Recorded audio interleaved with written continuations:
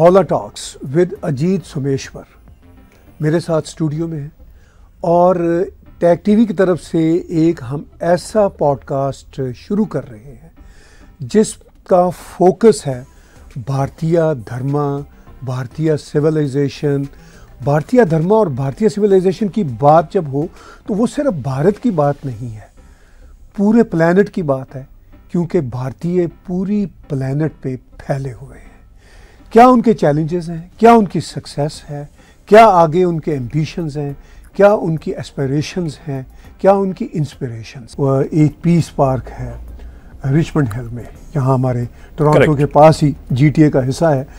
उस piece park में गांधी जी का भी बहुत बड़ा स्टैचू है और लॉर्ड हनुमान का भी एक बहुत बड़ा स्टैचू है और वो विष्णु मंदिर की प्रेमिसेस पे है। करेक्ट और भी वहाँ पे बहुत कुछ है आपकी भी वहाँ पे तख्ती लगी हुई है आपकी भी यादगारें हैं वहाँ पे तो ये जो कनेक्टिविटी आपने बनाई पीस पार्क के साथ और जब भी पीस पार्क रिचमंड हिल को हम गूगल करते हैं तो वो इंडियन कॉन्टेक्स्ट में ही निकलता है हम्म। तो कितना इंपॉर्टेंट है वो peace park But see the the idea behind. I'll first tell you about the monument, right? Because that is my singular contribution, and the Peace Park is a creation around it. Right. So the monument uh, was an idea that uh, I gave to the Museum of Hindu Civilization Committee uh, because they wanted to do something for the soldiers and just write uh, names on a on a plaque. And I said, no, no, no, let's do a full-fledged monument because this community owes a lot to those soldiers, to those boys, basically, who could even probably be drinking in a bar sometimes. At least in the U.S., definitely not. The age is 21.